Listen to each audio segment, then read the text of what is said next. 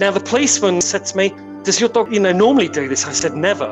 And then all of a sudden, the penny dropped. It's dusk. The dog's barking like this. He's trying to warn us all. It's coming. Seeing is believing, and I have no proof of what I saw that day other than what I can describe. It was huge. It was like the weightlifter of cats. Welcome to Big Cat Conversations. We speak directly to people who've encountered one of Britain's big cats. We also discuss the bigger picture. I'm Rick Minter, and thanks for joining me.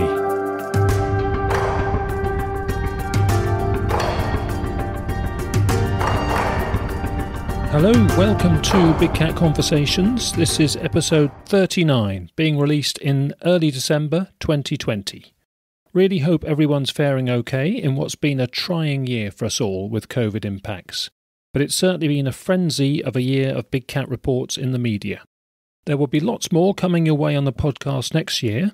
It will start with an episode from Hertfordshire, and for some reason, after vaccinations, when we can get out more, I quite fancy a visit to Halifax in search of a mystery cat that's turned up there recently. So maybe we'll have a podcast special from Halifax's Piece Hall. And if anyone can fix dodgy CCTV equipment, you're especially welcome. Now, for this episode, we promise the nighttime drama of the railway line inspector's encounter in the Peak District. Alas, that is postponed till next episode because just as I was finishing the edit, we got a crashed audio file for the first time. But instead, what was scheduled for episode 40 has jumped the queue, so here goes we welcome Annie, and Annie is in Southern Ireland. And Annie is actually going to talk to us about some encounters that happened way back in 1993 when she was living in mid North Somerset. Annie, it's really good you can join us. Thanks for coming on the show. Oh, you're very welcome. Thanks for having me here, Rick. Pleasure, and very interesting that you're based in the Republic of Ireland because we have been on the lookout for at least one Irish episode. I mean, we want to cover Republic of Ireland and Northern Ireland in time. Welcome as our first guest from Ireland, even though we're talking about dear old Somerset. And we're going to hear about several encounters, Annie, that you had in the 93 to 94 time period. So we may as well start at the very beginning. Can you take us through the very first time that you experienced a cat? Yeah, well, not all of those encounters were my encounters. Three of the encounters that were around at the time within that area were the ones that I saw or were involved in. But the actual very first encounter was in the village, on the edge of the village that I lived in. Just out of the blue, a, a man was going to his shed early one morning to take out his bag of rubbish to put it outside the gate for the rubbish bin then to come along and pick it up. And it had been snowing, and as he leant against the door, he crouched down and, and put his shoulder against the door to actually open the lock at the bottom. As the door opened, a cat sprung out from inside the shed over his shoulder because he was still crouched down. And it just made off across his garden and jumped over a, a stone wall and headed off up into a small wood so that was the very first time that a cat had been encountered in that area as such. And at time, like I say, it had been snowing, so the cat had actually left prints in, in the snow, which the local press came around and photographed. And I think it actually made the news. And like you say, that was the actual winter of 93, end of 93 to 94, which actually was a very snowy winter. I think we had snow every month for maybe six months where we were living. So that was the very first time. Did you hear about that one direct from the neighbour, or did you read about it in the local paper first? I think the information just kind of flew around the village first. There was a certain amount of disbelief at that time. You know, everybody, yeah, yeah, kind of business. And we just got on with our life we didn't disbelieve him at all because the prints were there, very, very clear prints for everybody to see. I didn't really think anything more about it. And then my husband and I were actually out for a walk around the local quarry, which we live very close to. Um, it was a working quarry. They blasted every day at 1 p.m. So it was a very, very active quarry. And we would take the dog up there for a walk. So we were walking around one afternoon, I think it was. And in front of us, across the lane, it wasn't a lane like traffic would go down. It was just like a maybe 10 or 15 foot cross lane that went around the edge of the quarry with brush on either side, a few small trees, and a cat just walked across in front of us. It was maybe 30, 40 foot away from us. And the dog at the time was off the lead. So we just quickly called the dog to us because we both knew what we had seen. Called the dog to us, and miraculously, the dog came. so we, we put the dog on the lead and we actually walked on. My husband said, No, come on, we'll just keep walking, it's gone. So we carried on walking and we just walked straight across where this cat had actually crossed the lane in front of us. I guess we weren't scared at all. We just thought, well, it's passed on, and, and we walked on by. So that was the very first time that we'd actually seen this cat, which was a black cat. It was big, it was obviously feline. I saw it side on. I didn't get a front view at all. It wasn't lion type big. It was maybe the size of a, a large German Shepherd, maybe, about maybe as tall. The tail was almost, I would say, as long as the body. And it was thick and it held the tail so that it wasn't up in the air. It was just kind of gracefully out behind it. I can't think of any other word to describe it. It looks like the tail was being carried maybe five or six inches off the floor, just in a gentle arc type thing, you know? And it just disappeared. It definitely seemed to know where it was going. It seemed to be on a mission. I don't know if it saw us. It just carried on on its way, and we carried on on our way. We were shocked, but you know, we still enjoyed our walk and, and carried on. When that happened, did you assume, oh, that must link to what was in the papers about the cat that came from the shed? Yes, we did. Yeah. Straight away, we said it's that cat. It couldn't have been any other thing. Other thing, you know, it was it was definitely that cat. Um, I couldn't see any markings on it. It was just solid black, far away as, as we were we just automatically knew that that was what it was. How long before the next one? Because there was another one hard on the heels of this, wasn't there? Yeah, there was another two hard on the heels of that one. always, more or less, always in the same spot, within a couple of hundred yards of that same spot. And both times I was on my own then with the dog. And each time I saw it, I actually chose to turn around and walk back home. I didn't want to go by where it had just crossed. I don't know if that was because I felt I was on my own. I don't know if it would have made much difference, but I just didn't feel comfortable to do that at the time. So I, I was quite annoyed because it was quite a long way back around the quarry to go home rather than walking around in a big circle. You know, I had to turn around twice. Um, and each time the cat was going in the same direction and it wasn't always at the same time of day either. Yeah, it was just in a purposeful way. It just crossed the path like it had absolutely every rights to. It felt, it seemed to me that it was very, very comfortable in its surroundings. What about the dog, incidentally? The dog, yeah, the dog was more interested in sniffing the ground. The dog was a Welsh Springer Spaniel and he always just ran around with his nose to the floor. I don't think he was aware at all of the cat, really. He was just doing his own thing. And each time I saw it, I just called the dog back to me, put the dog on the lead, and turned around and walked back. But the dog didn't show any awareness of the cat, no. The next encounter was a bit different because you didn't basically see the cat, but a neighbour was watching from a distance, and this is the one that's a little bit concerning, isn't it? Can you take us through it? Yeah, I was out for a walk again around this quarry with my husband. We just actually had a, a fairly uneventful walk, just the two of us. We started to walk back down towards the road, which was a fairly steep incline. And the little path there just kind of meandered around, almost like a zigzag down through the hill. And as we stood at the top there, looking across this very short, steep valley, we could see a neighbour of ours she had come out of her house and was waving at us frantically. And we, we just thought she was just waving, just saying hi. So we just waved back and went, Oh, you know, nice to see you, or whatever. And we took no notice at all. We didn't seem concerned. There was no reason to be concerned at all.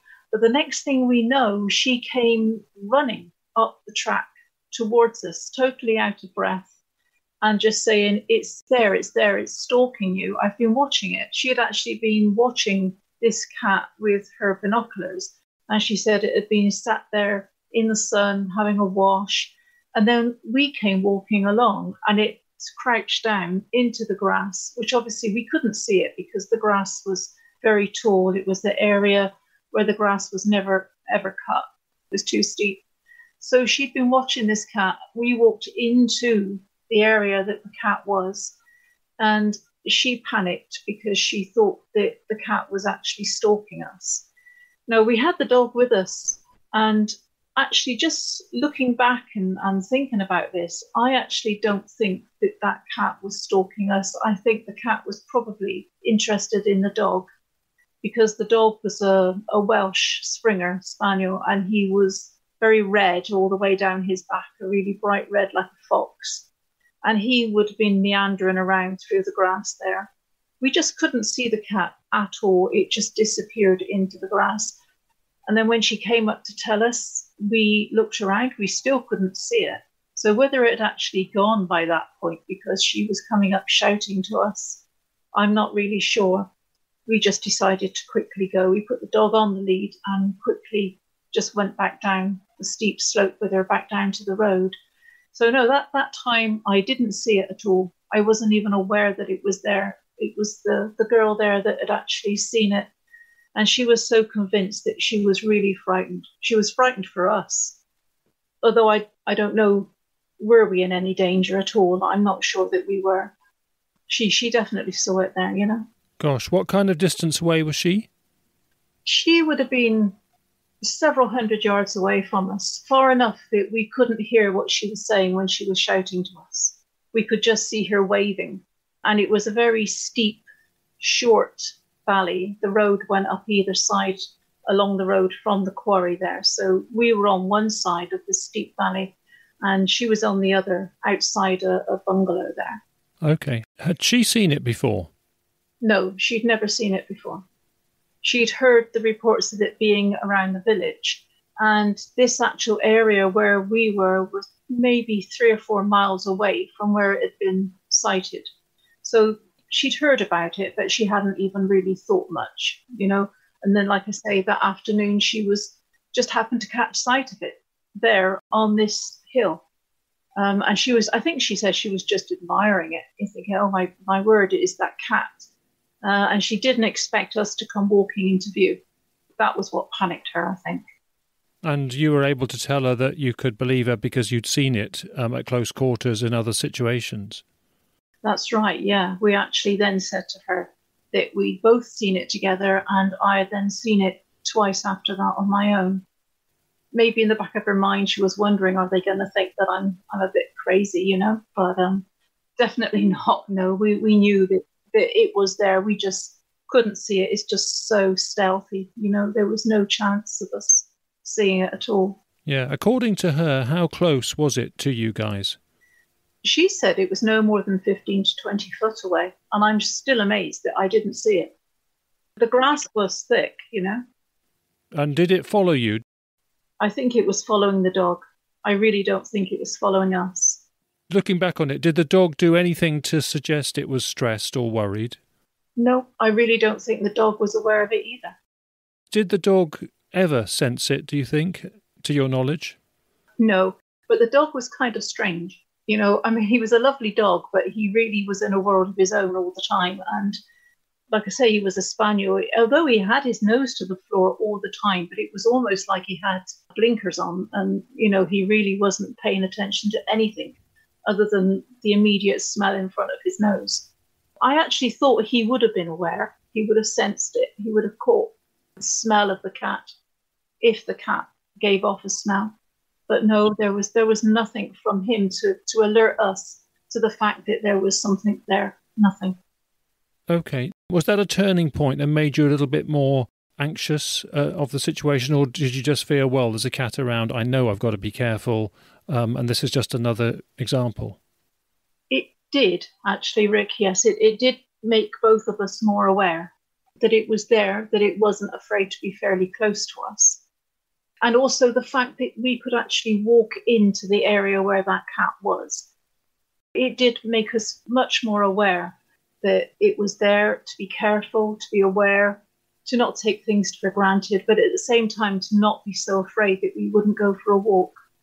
Learning to live with it, but yeah, very carefully. Yeah. Yeah, very carefully. Yeah. And what about um, vocalizations, calls, and sounds? Did you ever experience any suspicious sounds that might have been from the cat, do you think? Yeah, we did. One night, very late in, at night, we'd actually gone to bed and our, our little cottage backed out onto fields. And suddenly there was a huge noise outside. And my husband said, It's that cat because the cat, the noise that we heard was making a sound like a saw, like a man sawing a piece of wood. And it was making a lot of noise around. The children's toys were out back. So it was knocking these things over and everything. And I had hens at the time. So we just thought it was the cat. We were fairly frightened because it was pitch black. There was no outside light. We didn't have a torch with us. And my husband's only really now just said to me that he was frightened because the bedroom window was fairly close to the ground. So he said, Oh, I need to get rid of it. So he opened the window and he started throwing things like shoes and boots out at this cat. um, I really don't know what he was hoping to achieve. but, um, you know, he was just trying to shoo it away and, and get rid of it. And so, yeah, he started throwing items out the window. and all I can just remember thinking was, no, not my shoes, not my shoes. um, it did eventually go, and he said, oh, it's gone. I saw it jump up over the wall and into the next garden over, and then made its way on up into the field. So he could see the shadow of it. So he knew that it had gone at that time. But that was the only time that I'd ever heard any kind of vocalization from it or was actually fairly close to it, but within the wall of a house between me and a, and a window between me and it. Reflecting on that, that's most likely leopard-like noises, isn't it? Leopard sawing is a is what they do. It, it, it is it has got a sawing sound, that deep guttural rhythmic sound. Um, so you'd never heard that, but you just made the assumption it was a, a cat. Yeah, we did. First of all, I thought maybe it was a fox or a badger, or, you know, because we would get everything there. But it certainly didn't sound, you know, I know the sound of a fox and, you know, the snuffling noises and everything of a badger. It, it definitely wasn't that. And also the actual, the outline, if you like, or the, the shadow of the cat that he could see was a lot, lot bigger than that. It wasn't a small animal. What do you think it was doing there?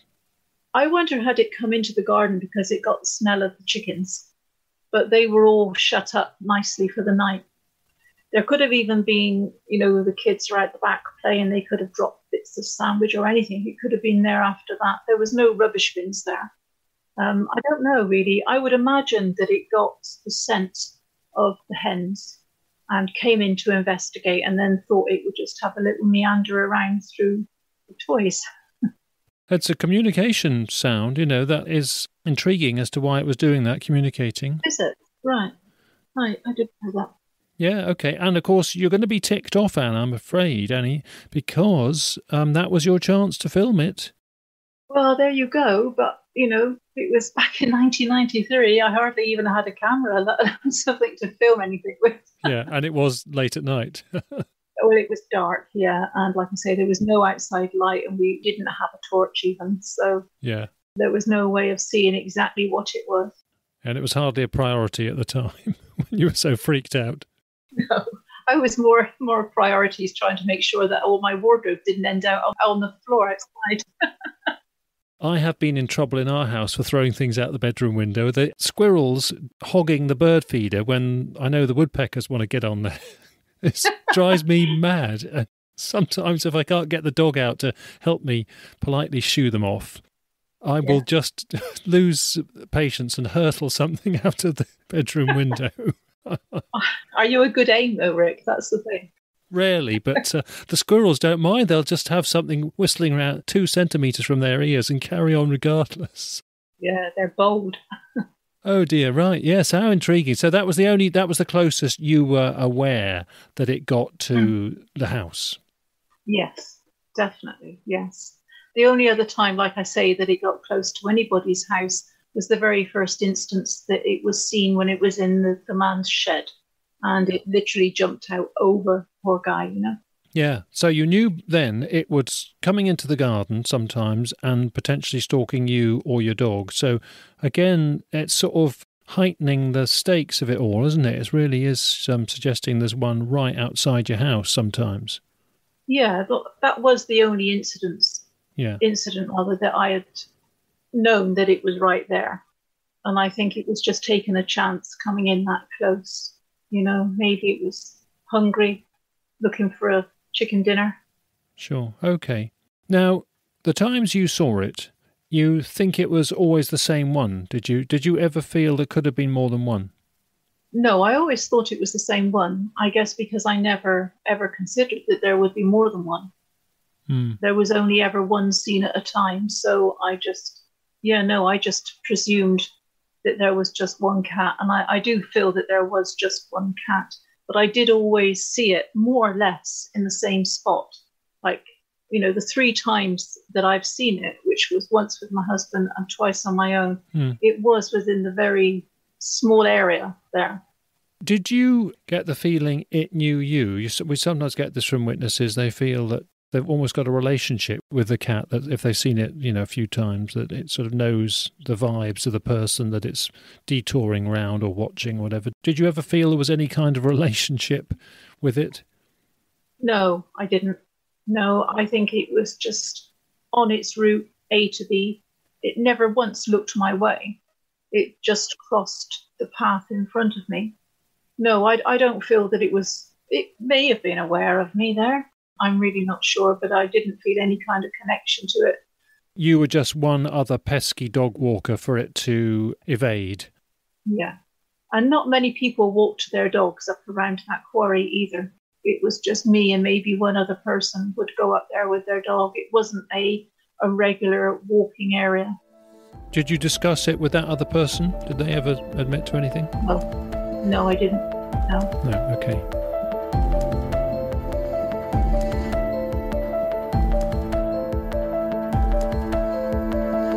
Quick interval now, and thank you to Annie for suggesting our word of the week. And it is literally a gem of a word because it is chatoyancy or chatoyance. It will be familiar to anyone with an interest in gemstones because it's all about the cat's eye effect from the band of light refraction in a polished, curved gemstone. From Encyclopaedia Britannica on the web, the definition of chatoyance is the property of some minerals to exhibit a wavy, luminous band with a silky lustre, reminiscent of the eye of a cat. It's coined from the French for eye of the cat, and of course, we're talking about the vertical slit shaped pupil in a Felis type of cat. The link we put on the website has lots of examples of gemstones and the shimmering and floating effects of the cat's eyes. And you can also see chatoyancy in Finnish woods because a similar effect can occur after wood turning and wood finishing in certain grains of woods. So much more on this on the website under episode 39. And thanks again, Annie, for chatoyance or chatoyancy as word of the week.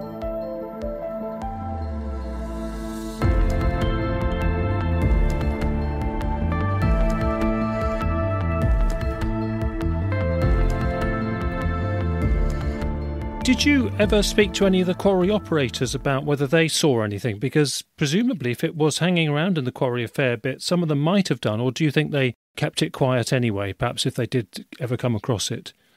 I would tend to think that they would keep it quiet.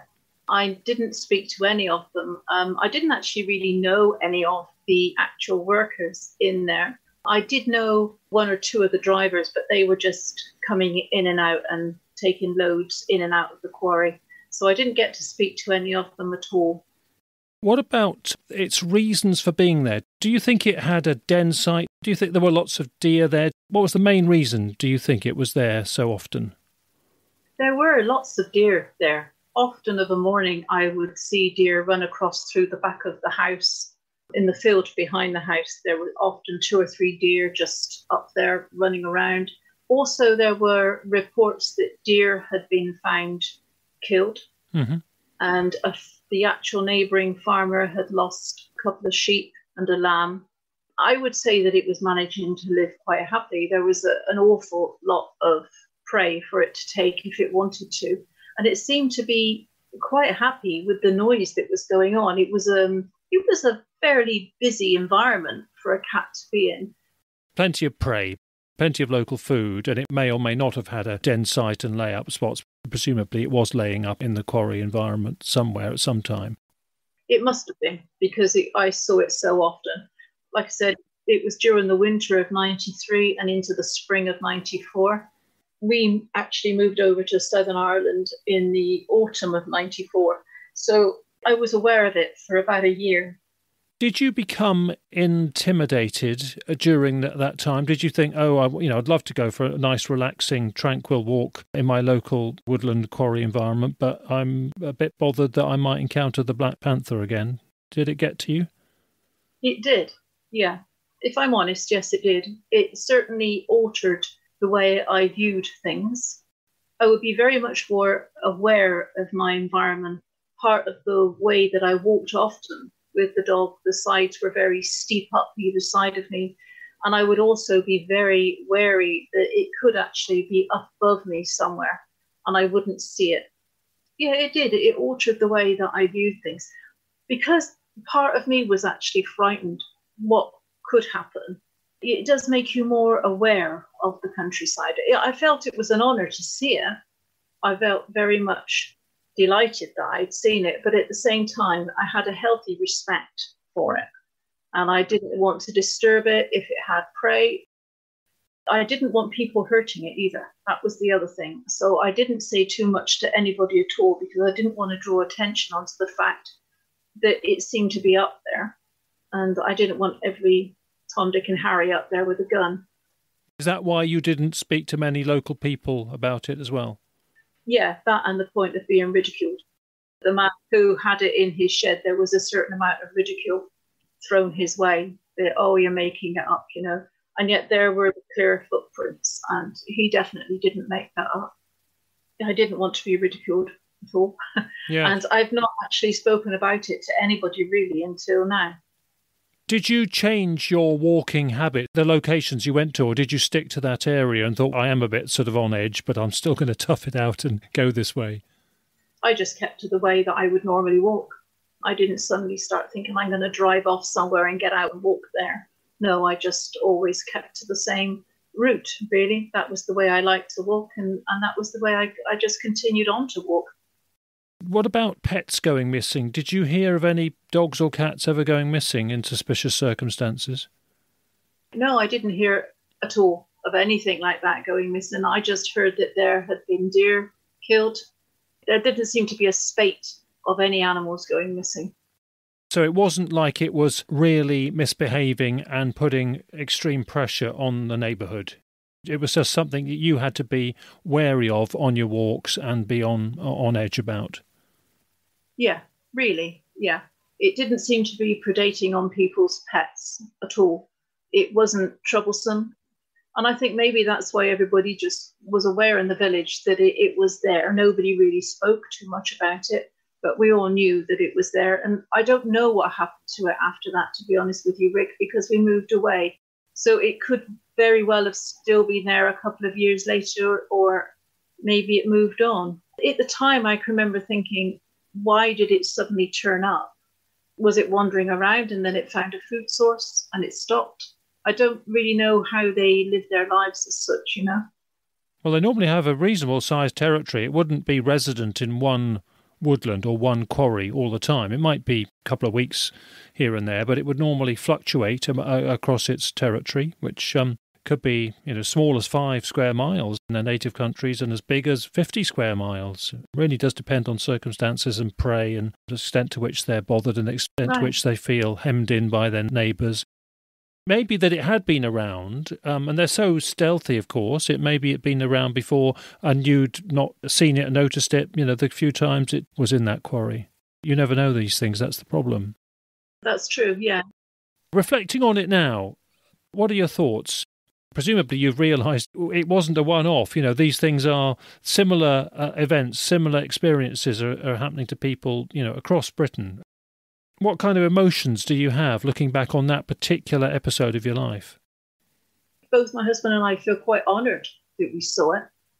Yeah, it's just a good feeling to have seen it because I know that they are so elusive, even though I realise now that there are a good few of them out there. At the time, back then, I didn't think that there was that many of them. I'd heard of the Beast of Exmoor and the Beast of Bodmin or whatever, and I can remember just thinking, I don't like it called that because it just makes it out to be something to be frightened of.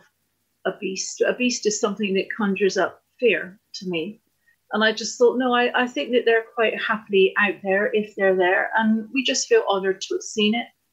Um, yeah, nice. I'm glad that we saw it anyway. And I wouldn't be frightened if I saw another one here, although I do feel I'm unlikely to see one here. Yeah. Although you say they are here.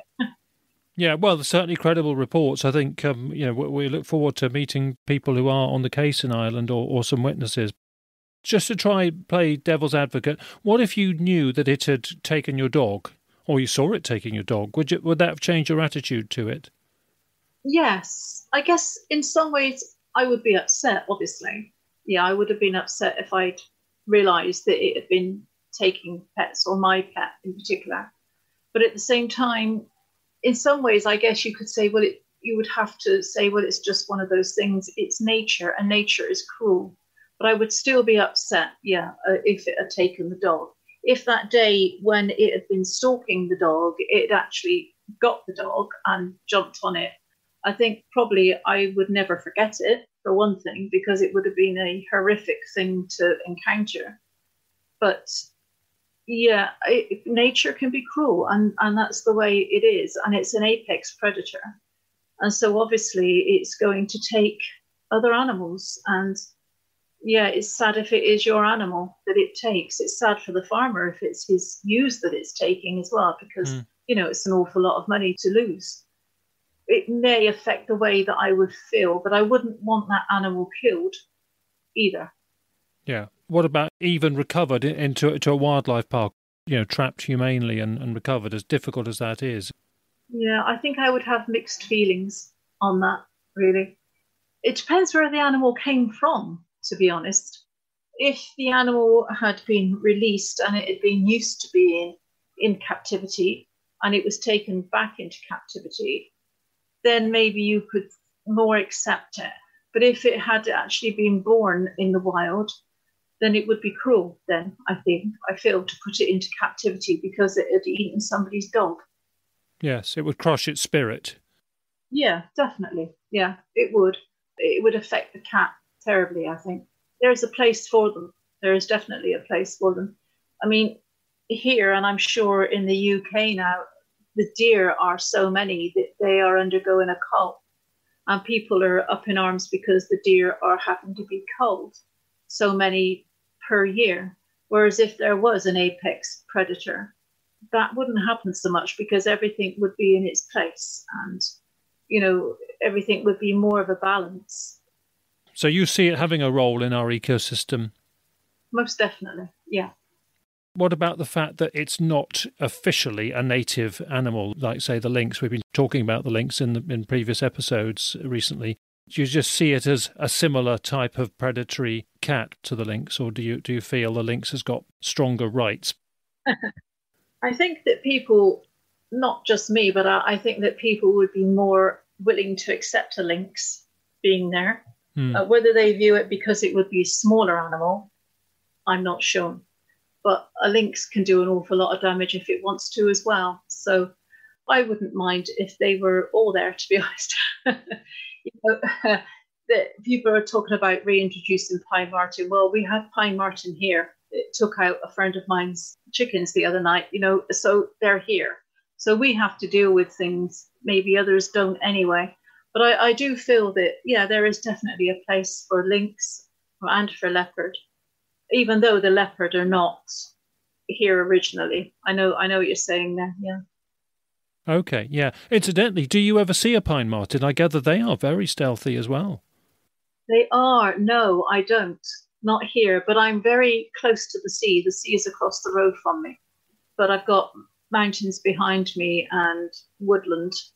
So it's a good environment, but mostly I would see otter and weasel. But I've never actually seen a pine marten here, no. But there are pine martens territories around you. Most definitely. I need to set up a trail cam and put some jam sandwiches out. yeah, sure. How often do you see an otter, incidentally? Not that often. No, they have been in the, in the sea towards the end of the road. There, I've seen them in a previous house we lived in. You would just see them catch fish and eat them, and yeah, it, it's lovely to see. I do enjoy seeing them as well. Uh, sadly, you sometimes see them dead on the road here if they're keeping to the same route. You know, eventually they will get run over. We have lots of them here. Sea otters, yeah. And again, they're elusive. Not everybody would see them. Yeah. Thank you all very much for this. What is so interesting for the podcast is that we're going back to 1993. Most listeners would know, well, yeah, there's been sightings of these cats for years and decades, and it's very interesting to go back to some of the ones many years ago and see how vivid and real they are and what kind of impact they had on the witness. Mm. How intriguing is it for you to still read about the subject decades later and it's much the same? And also, it's much the same that people have the same kind of attitude of keeping it below the radar, not talking about it much. All of those kinds of vibes live on, don't they? The way that we treat the subject is seems to be very similar to how it was back in 1993 94. Yeah, that's very true, actually. Yeah. And I think as well, once you've actually seen one, you never forget it. I haven't spoken about it really for the past 20 years. So, but it's always been there in my mind. And yeah, I would have an interest now in, in knowing that they are still there and that they're thriving, which is good. Yeah, I enjoy that thought that they are still there and thriving well, it seems. So, yeah, no, it stays with you if you see any large cat like that, anything out of the usual that you're not expecting to see. And it's a lovely experience to see them. And you do feel honoured to have seen them. Now there is um, a recently formed Somerset Facebook group to um, discuss it and take sightings. So hopefully they'll find this interesting. Yeah, I hope so. Yeah, because I'm sure that there are still sightings going on around that area. I don't see them reported very often. But um, I'm sure at one time it was a hotspot, so surely they must still be there. But like you say, it could be the fact that people are just keeping sightings close to their chest because they don't want lots of people turning up on their doorstep either. Yeah, well, certainly different parts of Somerset now are semi regularly getting reports of all the three main candidate cats. And this area you're talking about, I know you don't want to give it away, even though so many years on. From my knowledge, a few months ago, earlier in 2020, this area, about five miles away, was in the press for a couple of sightings. I think one witness came forward, and then about two weeks later, in the same local newspaper, somebody else, I think another a driver, saw one close by. But that wasn't right by your quarry. It was probably five to eight miles away. That is interesting, though, that they are still being sighted. Yeah, maybe relatives of yours. maybe great grandchildren. yeah, sure. Anything else you'd like to say before we leave it? I would be very, very interested to, to know about them over here in Ireland. I do know that there was one um, sighted fairly close to Cork City in the countryside there, and I think there's been several sighted further north. So they're obviously here. There's also a man who is actually rewilding up in County Donegal he's rewilding within a enclosure, within a, a woodland and lake enclosure. And he's bringing in animals that would have been here generations ago, you know. So he has the Eurasian lynx there. So he's really just going for animals that would have had a connection to Ireland and would have been here thriving in the past. They're rewilding, but they they aren't, if you know what I mean be more like under a zoo license situation, I suspect. There's a big fence. And is that with getting people in, the public in to pay and experience? Yeah, and it's going well for him because he opened up just before lockdown, sadly, the first lockdown. Mm-hmm. So he's struggled, but you know, lots of people are supporting him and realize what he's trying to do is very good for the environment as well. And people like to see animals that were here many years ago, you know? Yes. And we know how they affect the ecosystem. That's the benefit, isn't it? Many animals that are introduced and were never here before can have no or little negative effect whatsoever, but you don't know that necessarily until they're here. But we can predict largely what former native animals are going to do to the ecosystem. And how are you hearing about the reports you just mentioned through the media, through uh, press reports and websites? Yeah, the media, the newspaper. You would hear, you know, that something has been sighted I don't think that there's going to be the same numbers that you have in the UK for, you know, we are a smaller place, smaller population as well, a smaller area. But then this is very rural. There could easily be animals here and you just would not see them because everything is so wild anyway.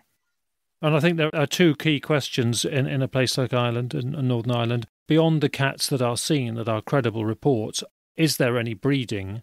And then, is there any breeding that is viable in the short, medium term? Those questions, I think, are more apparent in a place like Ireland. You know, is it just a few vagrant cats that have been let out and released, and eventually they'll die out, or is there some breeding and it will be a prolonged situation?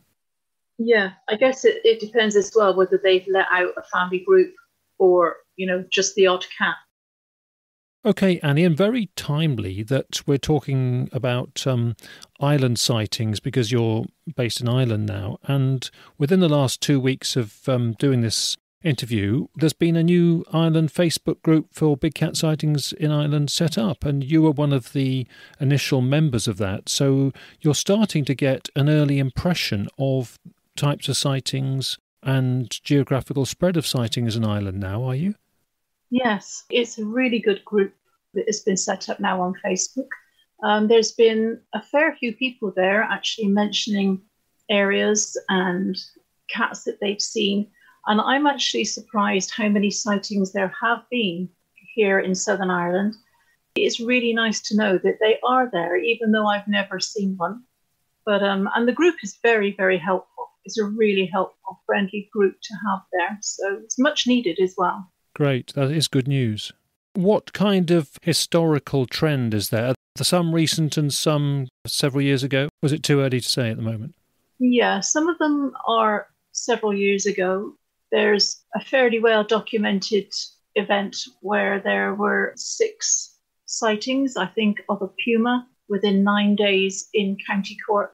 They were so credible that the um, the Irish equivalent of the RSPCA put out cameras and traps actually. They said that there were cases of horses being spooked. There was also fewer foxes around afterward. Mm-hmm. So they, they were fairly convinced that there was an animal there. And they also got in touch with the wildlife park here in Cork to see whether they had lost anything. Now they don't actually keep pumas at all, so so no, they hadn't lost anything. Yeah, that was a couple of years ago, if I remember that case, because that was in the press, wasn't it? That's right. It was in the press. It was 2018, I think. So, but there were a couple of more incidences further north and in County Waterford further east. Sometimes it's been of a black cat, sometimes puma type. There are a few out there, far more out there than I ever actually thought that there would be. The ones that I know of go back around 2017 and earlier a recent move now is that since September this year, there's actually now being considered to reintroduce the lynx here into Ireland for full reintroduction, which is, is great. They hope actually that it will fill a vacuum that was left by it when it died out, you know, and help to balance the woodland and the ecosystems and keep everything under control. So, and there's so much space here. Even if there was lynx introduced here, I really doubt that you'd ever see one. Yeah, but that's par for the course, even yeah, wherever they are. This Facebook group is excellent. So I would say to anybody, if you're on Facebook, and there are members there from the UK as well and Scotland, it's not just mm-hmm. solely Ireland. You know, anybody is welcome. I think. Yeah, very good. That's very good to hear. And obviously, we hope to hear from some of those witnesses in future podcast episodes here. And we're, mm. you know, on the case and um, Hope to hear from them soon. And what about Northern Ireland? Does the Facebook group cover both sides, the Republic and Northern Ireland? Yes, it does. It covers everything there. Yeah. Which is great because there's a fairly big catchment area between the north and the south. And, you know, cats, they just walk across the border anyway. So yeah. it's good to have people from, you know, there's been sightings up around Newry and as well as down here. So there are many sightings. But it would be nice if a few people wanted to share their experience of their sightings with you. So that would be interesting to Irish people here as well to, to bring it to the forefront for them. Yeah, that'd be lovely. Well, we'll do our best and we'll hope to engage with some Irish um, guests quite soon. So thank you for that, yeah. Annie. And, and great that you're. Um, have you told them about your uh, experience? They know that you're a member because you've had sightings back in Britain. They do. No, I don't actually think I've actually shared my experience there with them at all. Mostly because I know that this podcast is coming out. So yeah, you can link it to them. Hopefully, they can hear about my experience on here. Good stuff. Yeah. Well, Annie, great that you're making that link with the Facebook group, and good luck to the Ireland Facebook group and all its members. And great to hear it's off to a good start. So, Annie, thank you very much for coming on the show. I'm sure everyone appreciates all that you've had to say. It's so interesting to hear about one a long time ago, but so as if it was yesterday. You know, you obviously it's very vivid memories for you, and that sort of thing still happening today. Yes, it certainly it stayed fresh in my mind completely all, all over these years, you know. So I've really enjoyed talking to you, Rick. Great. Well, thank you very much. All the best, Annie. Okay, before we close, a couple of announcements. First, look out for the TetZooCon webinar conference event on 12th of December. I'll be helping with the Big Cats part of that at 8 pm, and there will be plenty of fascinating things elsewhere on the day's agenda for that all brought to you from the maestro himself, Darren Naish, and his close colleagues. We'll add a link on the Big Cat Conversations website for that event, so that's 12th of December, Big Cats at 8pm in the Tech Zoo Con webinar. Our episode 40 will be out just before Christmas, and we will be uncomfortably close with the Peak District Panther for that one. Meantime, thanks again to Annie, our guest, and thanks everyone for your support for the show. Till next time, look after yourselves and bye for now.